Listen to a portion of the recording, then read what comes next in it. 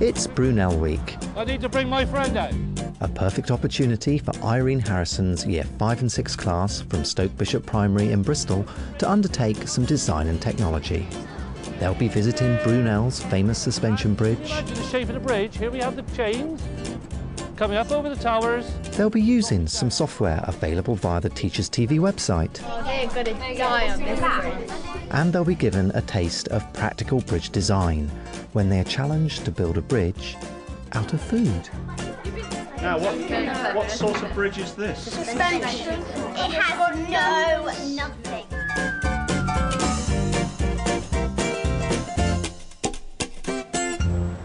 Welcome to the Clifton Suspension Bridge.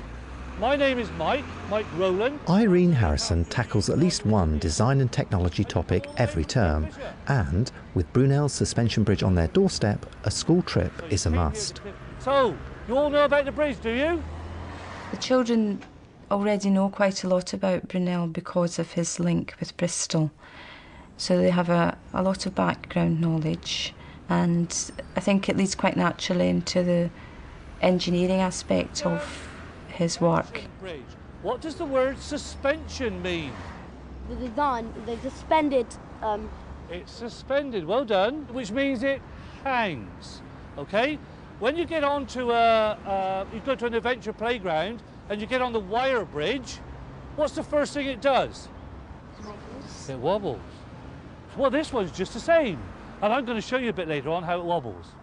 Right. Watching their progress is Simon Botton, Deputy Head of Crossways Junior School in Thornbury. Simon is shortly undertaking a unit on bridges with his own class and is interested to learn from Irene's approach. That's the first thing that strikes me really is just the importance of that of that visit. We often do kind of history visits, geography visits, science visits, but to actually do a DT visit and looking at it, you think, well, actually, yeah, that's such a valuable use of, of that resource and that place.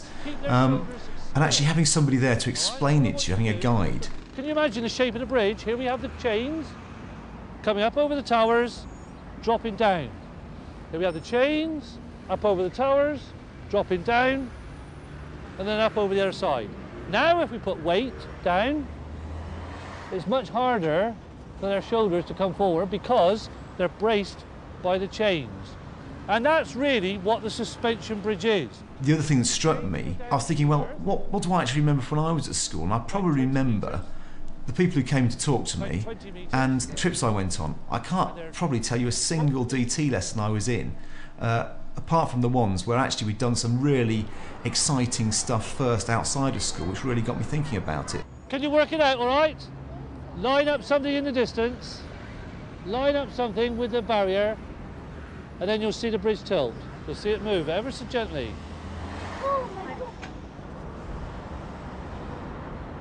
One, two, three, sizzling sausages! Sizzling sausages! Having experienced the bridge firsthand, You can use your headphones, children. There is sound. There's, there is sound if you want. the children now try their hands at some computer based interactive tasks. Details of how to access this package at the end of the programme. Clifton Bridge. Mm-hmm. Right. Then, um, yeah.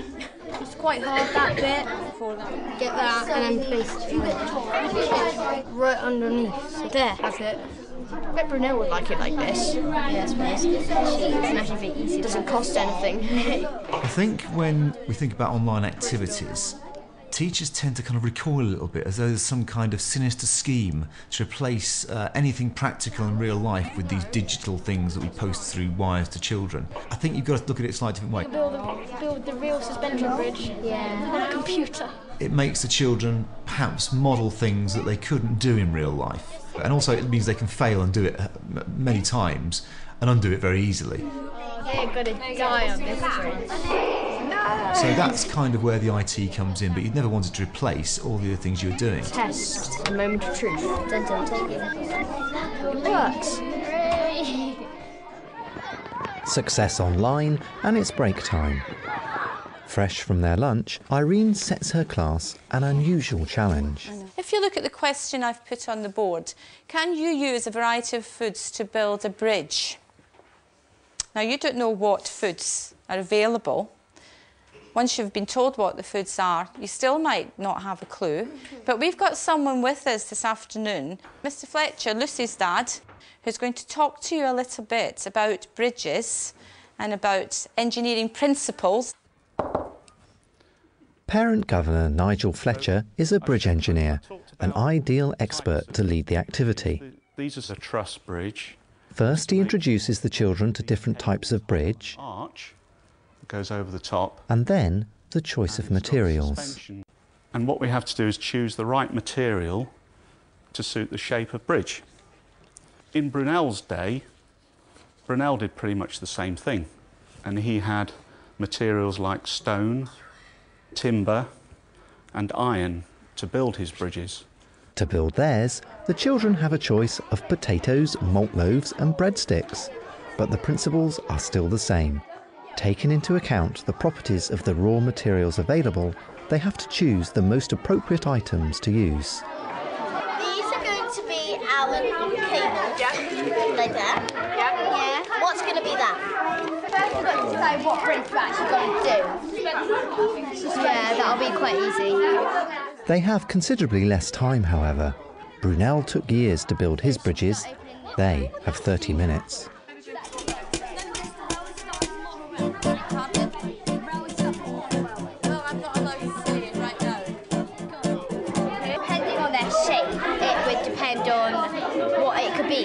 This is like flat, it looks like a road, so we can use that as a road going across.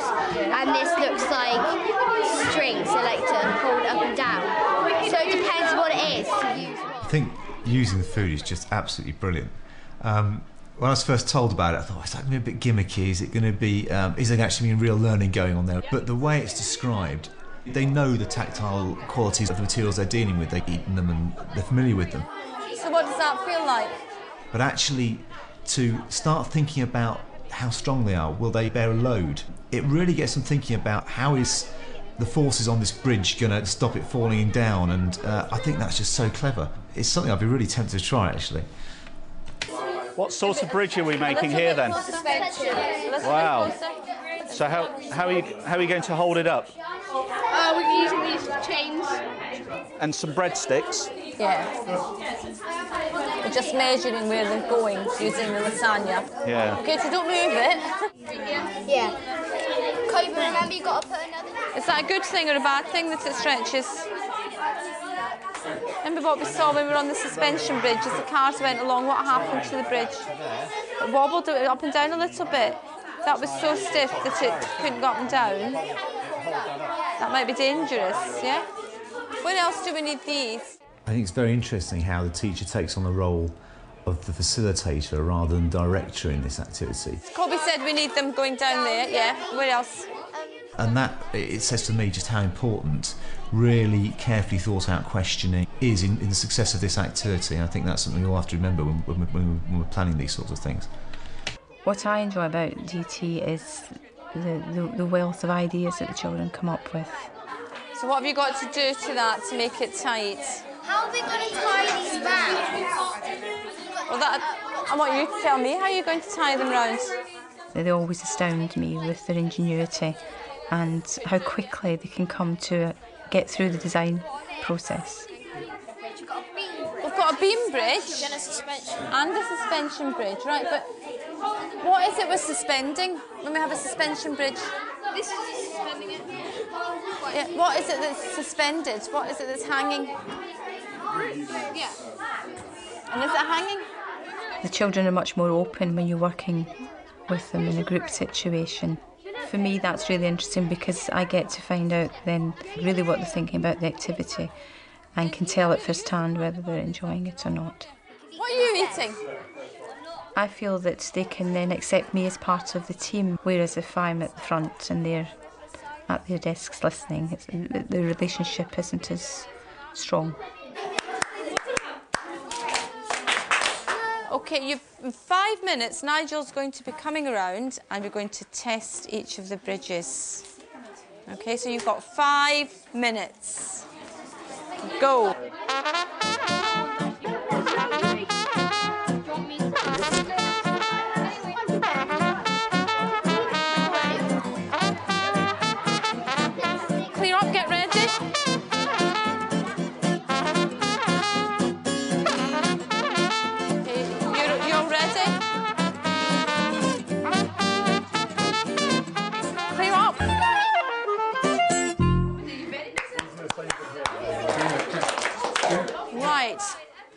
Has come.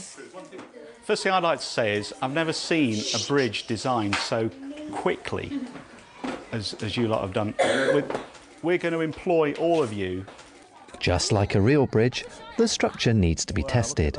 Can their bridges support Nigel's favourite train set? That is definitely safe enough to take people on. Right. I think the children have learned lots of things this afternoon. Firstly, I think they've learned that they can't just rush at a job. They've got to think very, very carefully about the design It's a bit wobbly. and experiment before they venture into the final structure. Yep, that works. I think they've learned to work really well together and to use each other's strengths. This looks a very good suspension bridge. And as well as that, the children have learned so much from the professionals that they worked That is with. fantastic. What sort of bridge is this? It has no nothing. It's actually it's a cable stayed bridge. Look, because these these are cables. They're not. It hasn't got any hangers, has it? They're just cables. I'm absolutely astounded at the success rate of these bridges. When I was looking at it halfway through the afternoon, I thought, oh crikey, we're not going to have one that can hold um, Nigel's train set. But I, I've, I was wrong. I was proved wrong five times. Before we go out for a break, I want you to just think for a minute about how you worked in your groups. Did you recognise that someone in your group was really good at a particular thing and asked them to do it? I overheard someone say, Joe's really good at pleating the, the green strings. And I know that he got to do that job in this group, because he was an expert at it. Did you do that in your group? Did you share the work out like that? What has changed about you during the course of this afternoon? What have you got better at? A very good way of doing a plenary there. I, like- li- I like the fact that she was not just referring to the DT skills they've done, but the kind of generic learning skills. Um, getting the children to think, okay, if your group was successful, what was it you did to make your group successful? I think what I've seen really is, is just a very different way of doing it. You, you imagine that, that for your DT project, you have to do some big, elaborate um, bridge or structure made out of something wooden, and you've got to do lots of sawing and drilling and all very grand things like that. And actually, looking at that, I'd say 90% of the DT skills you're trying to teach were done in that very simple way with very simple materials. I think the learning they've done in that very specific way, looking at those materials, has been really, really valuable. I, I'd certainly have a go at that and try and pass it off my own, my own classroom. What's the name of it? If you've built up an appetite for building bridges, why not visit the Teachers TV website? Excellent. You'll find an accompanying programme to show in class of Brunel himself showing off his famous works, and there's a link to Brunel's Britain, a specially made interactive resource available free to Teachers TV viewers.